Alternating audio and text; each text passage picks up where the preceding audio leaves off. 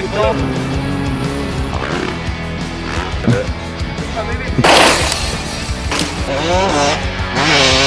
feel like I'm slower than a lot of people.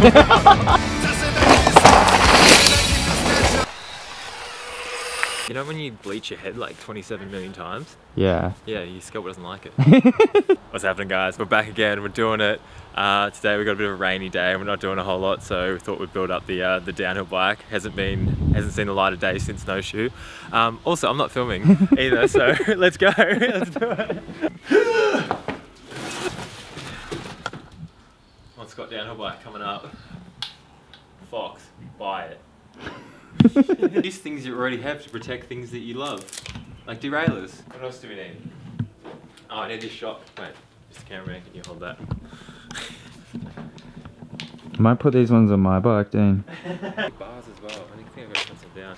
Um, yeah, normally we work on this in the shed, but seeing as it's freezing cold and we've got a raging fire, um, house it is. Might be a bit of a struggle to get it through that front door though.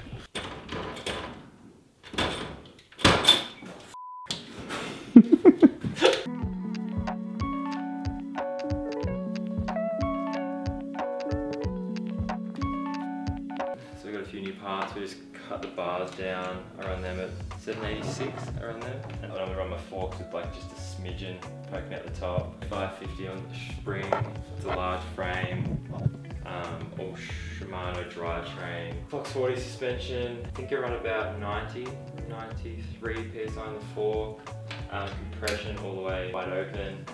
Um, rebound kind of in the middle. Lucky we got Syncross like in-house with Scott, which is lucky. So um, when I first went there, I didn't really like the sweep of the bars or the height. So they actually kind of gave them the dimensions I wanted and they actually just custom made these bars um, just to fit me perfectly. So it's like you kind of just got custom fitted stuff when you need it, which was lucky. So literally you kind of, don't have to get comfortable with what they've got. You can kind of modify it to your own needs, which for me is super beneficial because I'm quite pickier about like anything in your cockpit, like grips, bars, stem, all that. I'm very picky, so it was like good that they were so open to actually like change things that I needed to change. As well, the bar that I ended up coming up with, um, I think everyone pretty much on the team runs it now, like Flo, Marin, um, I think Luis. So like, obviously there's something good in the sweep. Do you reckon that's a good PSI to run your tyres at? Uh, I'd actually run less, um, Less? depending if you're riding on sand or not, or if you're an idiot. Do many people run the mullet setup? Um, pretty much now most people do. There's a few people that run 29 front and back. I know Greg Minnaar's one of them. Um, Charlie Harrison's another one. But there's not many. Most people run the mullet now. I was running the XL um, as a mullet and then I went back to the large 29 front and back and then I decided to go back to the large in a mullet. I think this is kind of the best. Why do you like uh, running a mullet?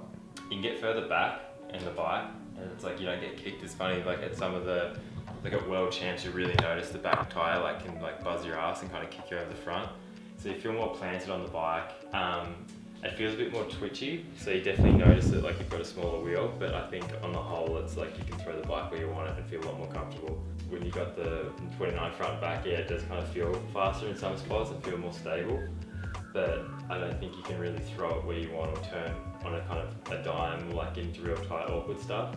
So it's like someone explained it makes the easy stuff easier and the hard stuff harder. So I think it's like you want the hard stuff to be easier and the easy stuff doesn't really matter. That's horrible.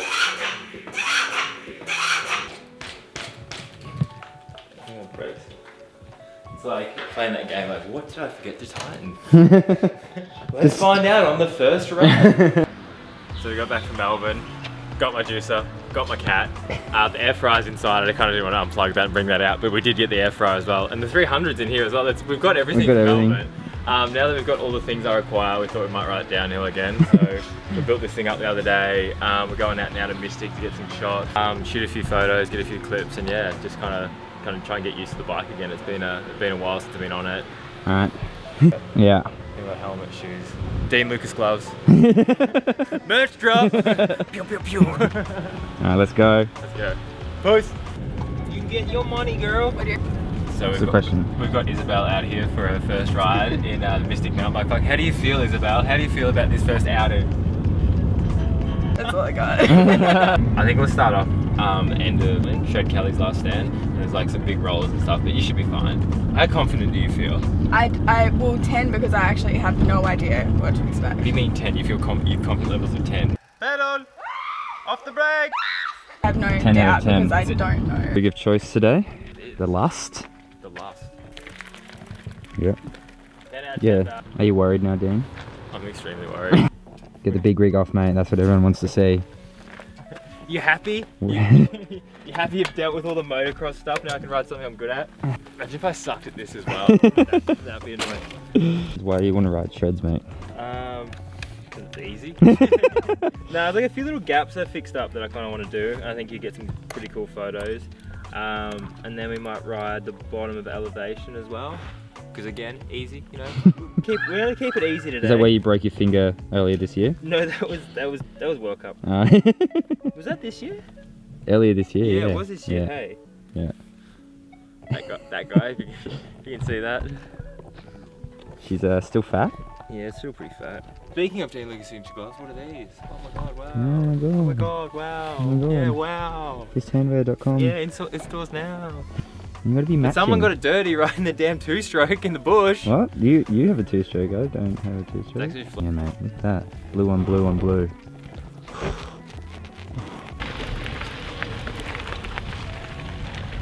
Catch up. E-man away! Mm.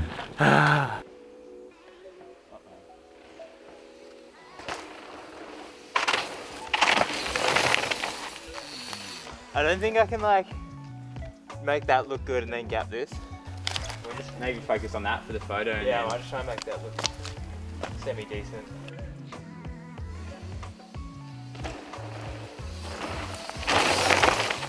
Bit better. That's pretty sick.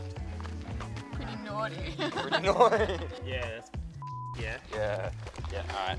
Can I see? We're done. Money. Oh, we can't see it in the camera at all. Oh, sick. What the hell? It's that, That easy. Yeah. Okay, so Camera does all the work, next yeah. It's hard, like you gotta sprint and then you gotta pump up everything perfectly.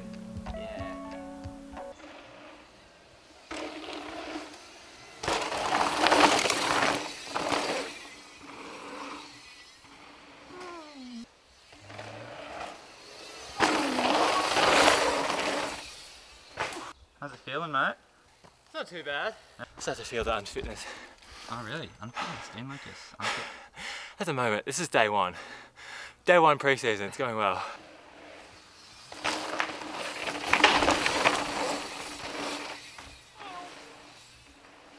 So you promised uh, you promised some mountain bike content, Dean, and you're currently uh, just uh, riding flow trails. I thought you were a downhill guy. Nothing. An unfit flow trail rider. Stop this! Ooh,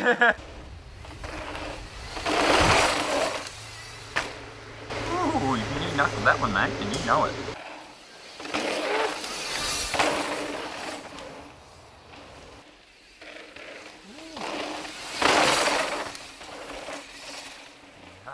Alright, we've warmed up. We can go to the downhill track now. yeah, Flow Man's done. Here are some rough stuff.